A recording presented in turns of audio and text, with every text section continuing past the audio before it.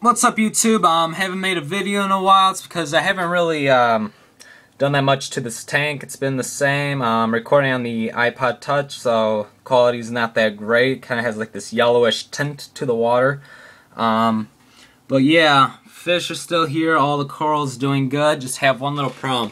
I've been having um, on the on the iPod. It looks a lot worse than it is, but I have um, some green algae.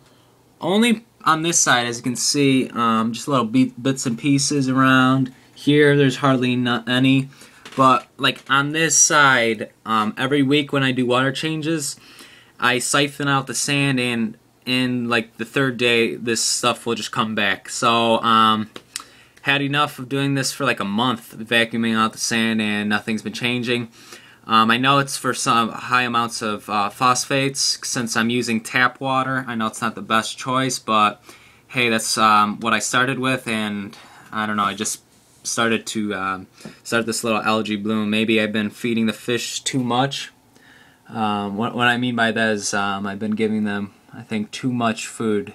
I should slow it down because they um, are sinking pellets, and when they sink, I'll, I'll throw like a couple, and then like five will drop in, and they'll only eat like two of them because they only see them, and then the rest will drop in the sand. Uh, I kind of do that on purpose so these little guys can uh, also eat if there's no food around the tank. Uh, but as um, as a little add-on addition, I just bought this guy. This guy's a turbo snail. This thing is huge. Here's my finger to it. Um, I don't know if you guys seen my snail before. It was a bumblebee snail. This thing, comparing to the tank, he's a big guy.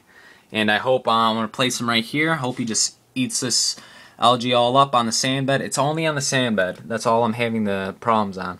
And it's kind of a problem because when you're looking at the tank, you see all these beautiful corals, and then you just see this ugly green uh, algae on it. So I hope this guy, this turbo snail, will do some damage to this algae and um, I'll make another video.